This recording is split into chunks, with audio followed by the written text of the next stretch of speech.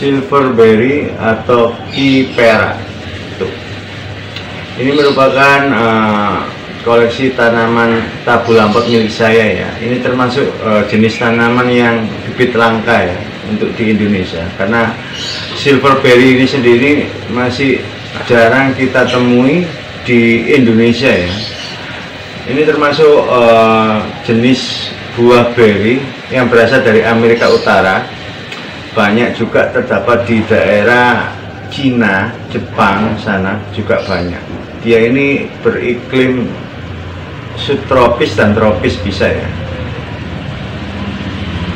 Untuk tanaman silverberry ini sendiri teman-teman, uh, ini mempunyai citra rasa yang manis ya. Biasanya ini diolah buat selai ataupun manisan ya, buat selai ataupun manisan. Nanti kita akan reviewkan beserta fotonya, foto buahnya karena di sini belum ada yang berbuah ya.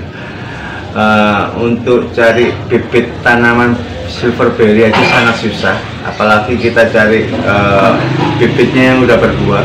Tapi next kita akan kalau udah berbuah saya akan videokan kembali ya.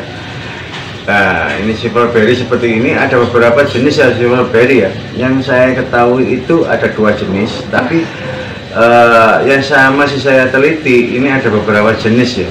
Untuk silverberry seperti ini ada yang varigata dan ada yang yang berasal dari Cina itu berbeda daunnya ya tapi jenisnya rumputnya silverberry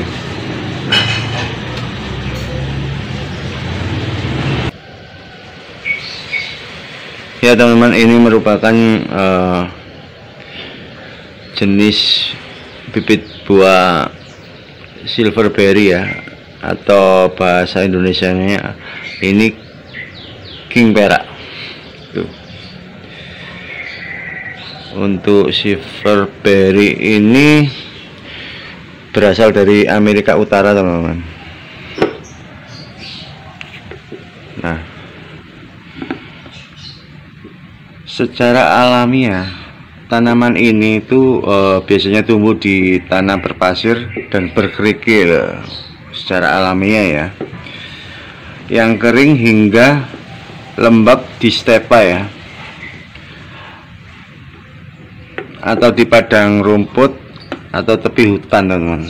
Biasanya tumbuh liar di situ. Tanaman ini merupakan berupa semak atau pohon kecil yang tumbuh setinggi 1 sampai 4 meter ya. Untuk daunnya ini uh, seperti ini teman-teman.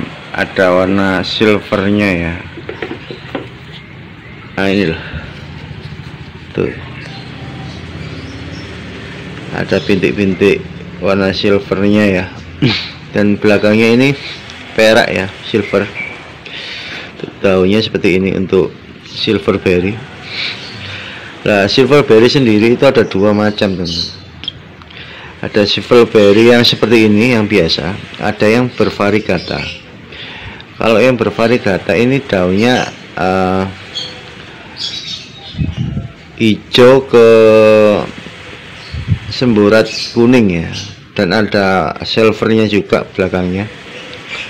Kalau ini jenis silverberry yang biasa ya bukan yang varigata tuh daunnya ada bintik-bintiknya tuh.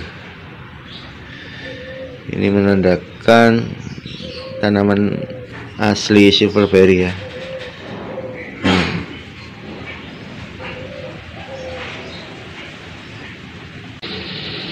untuk silverberry ini guys uh, dapat tumbuh di dataran tinggi maupun dataran rendah ya tanaman ini sebaiknya diletakkan di uh, tempat full sinar matahari.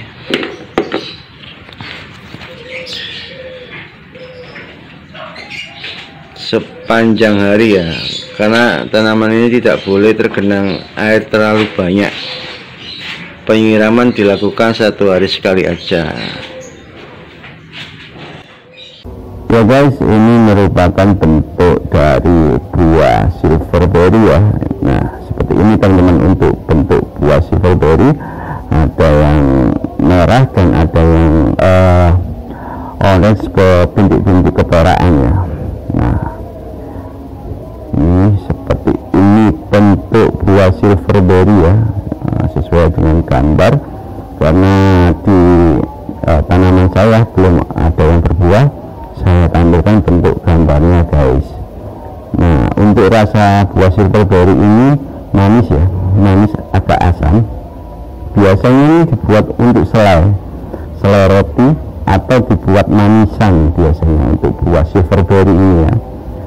Dan bisa dibuat bonsai untuk tanamannya teman-teman. Nah seperti ini bentuk buah silverberry atau kipera tuh untuk daunnya ada bintik-bintik peraknya ya silvernya ya. Tuh belakangnya juga warna silver. Nah menarik kan teman-teman? Kalau kita punya tanaman tabu lampot bibit buah yang langka kita bisa uh, apa ya koleksi ya. Kita akan koleksi. Salah satu tanaman saya. Oke gitu aja review singkat tentang buah silverberry semoga bermanfaat menambah pengetahuan teman-teman tentang dunia buah-buahan. Dunia buah berry-berry itu sangat banyak. Dunia buah berry ya. Kita angkat ungkap satu persatu di video Wijaya Diary nonton terus dan selalu berlangganan dengan cara apa? Subscribe ya guys. Oke okay, see you